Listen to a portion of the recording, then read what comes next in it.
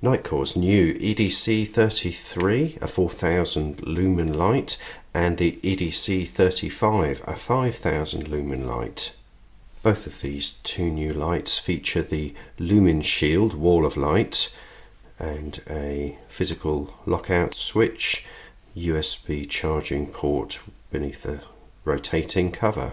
The EDC35 weighs in 184 grams and the EDC33 at 128.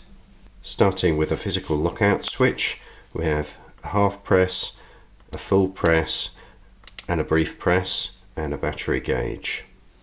Both these lights feature the new UHI LED, a multi-emitter LED, and there's a safety sensor in the reflector as well. Will these two tactical EDC lights live up to specification? Keep watching tactical reviews to find out.